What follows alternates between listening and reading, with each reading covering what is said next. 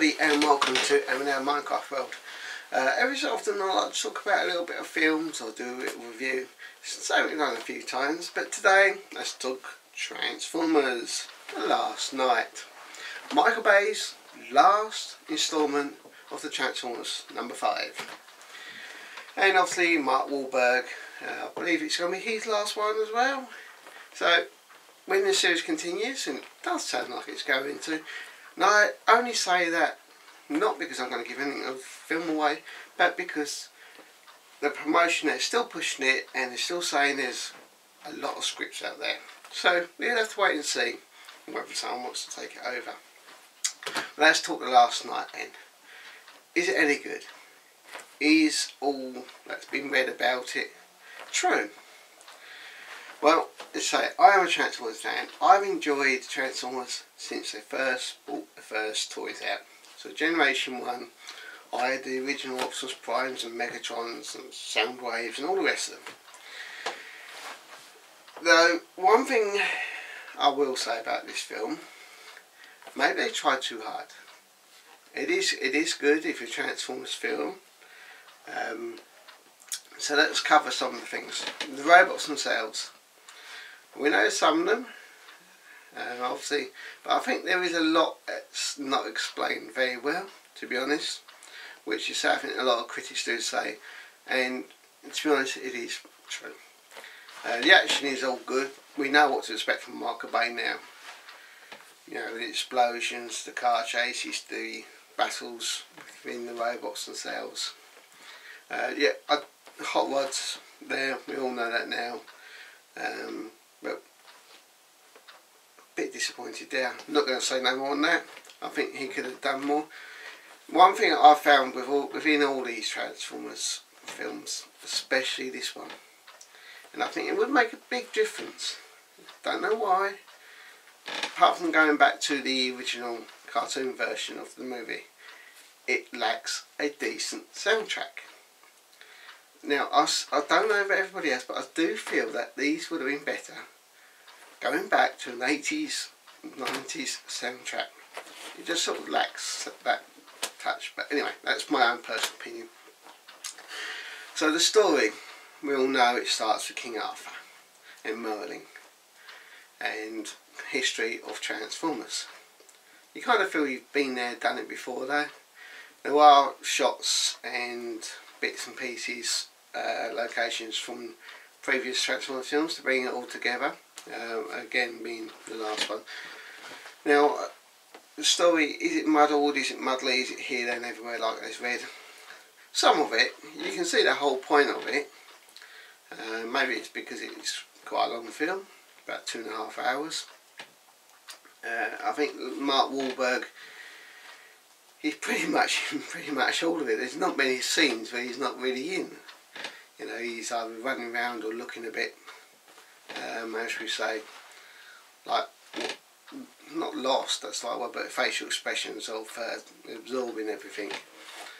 Uh, obviously, we do have the British characters now, Anthony Hopkins, and he's uh, the love interest of uh, Mark Wahlberg.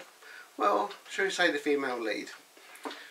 Now they all do do a quite good job. We we have got a young girl in there as well. She, I think, whether that's to bring in a young audience, but I have to say, it's very difficult to do that in this one. It's the comedy in it is a few swear words here and there, which I think again limits to who can watch this a little bit because there are certain scenes you're kind of thinking it's funny, but was it needed? So the comedy really is the best bit is about the butler robot. He is funny, but again, there are bits that said in there you're kind of thinking if that wasn't in there, you could have made perhaps the film a PG. Or, um, you know, not necessarily influenced, but I'm not going to focus on that because there are some bits that make it funny as well. Optimus, we all know, goes bad, rogue, call it what you want. Um, he's not in it a great deal to the start and the ending. Uh, I think that's predicted really. But you kind of want that, you're waiting for that bit where someone kicks in. We all know Bumblebee is now one of the lead ones in it. Um, as for Megatron, I think there's a lot not explained there. Um, we, the last film we Galvatron, also it's Megatron. Um, and I think the other thing that they don't do so much in this one is, although as I said I've used Transformers since season one of the originals, is you're kind of thinking, is there some of the main ones that they could have still used? You know, they're bringing in lots of lots and lots of robots in the background. I think sometimes they overdo that rather than focus on just a few and making them stand out. You know, yeah, you got the little cute robots in there, you got the butler robot in there, as well as the main ones. Uh, you got the Inventor, you know, you got Grimlocks in it a few times, and you got other little ones. I'm not going to say them all. I think the baddies, I think they do lax this time. Uh, mainly apart from Megatron, you kind of think when they're saying names, yeah, you got Barricade in there. You're kind of thinking, who? is that just me? Maybe it's just me. Maybe I've forgotten some. But you're kind of thinking it does lack still that Starscream or Shockwave that somebody else, another baddie with Megatron. I did enjoy it, don't get me wrong. I can see we can. I'm just trying to cover all the critic things. I did enjoy it. Uh, I'm going to go back and see the 3D version. I like to see a film two, three times when it's like this because I often find that sometimes you miss bits. It's a bit like uh, The Revenge of the Fallen.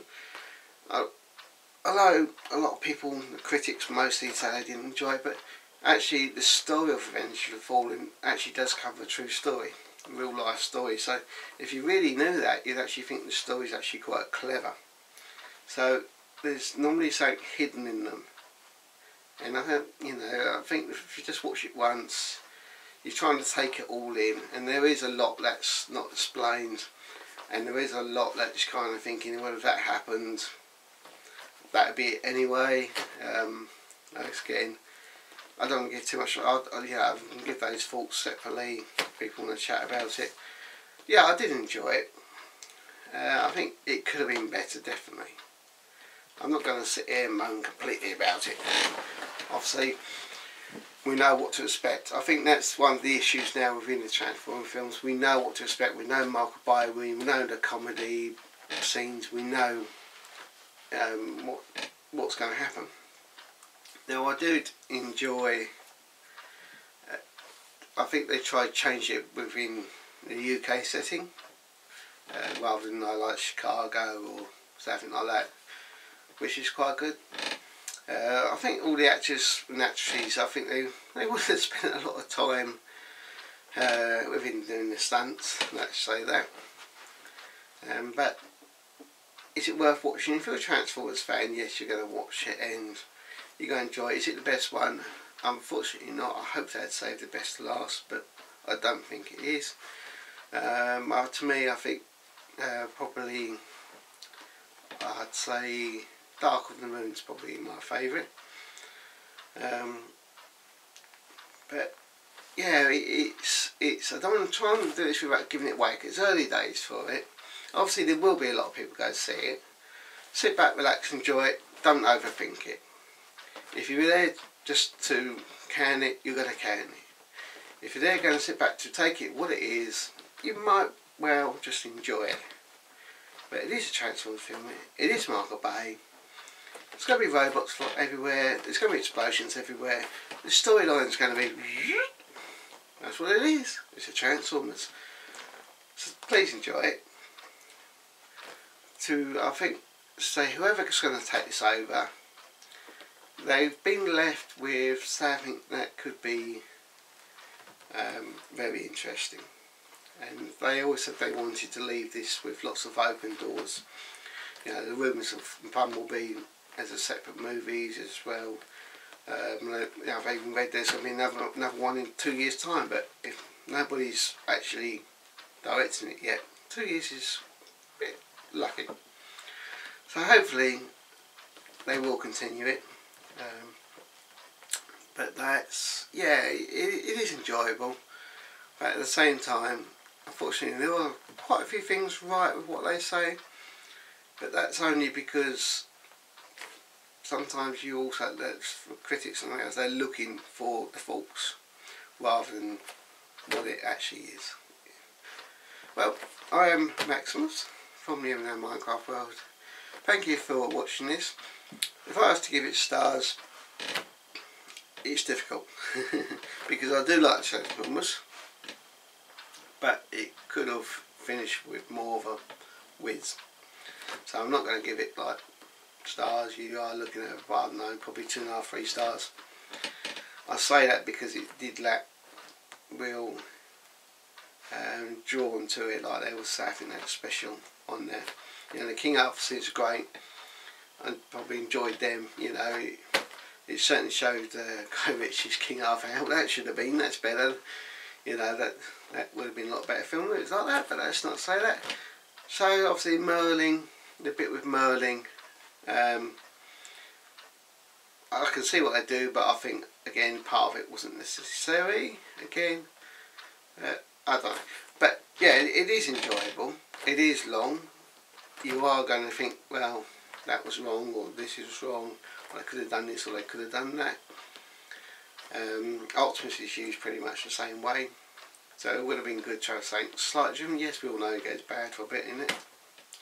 But, yeah, so let us know your thoughts. Thank you. See you later.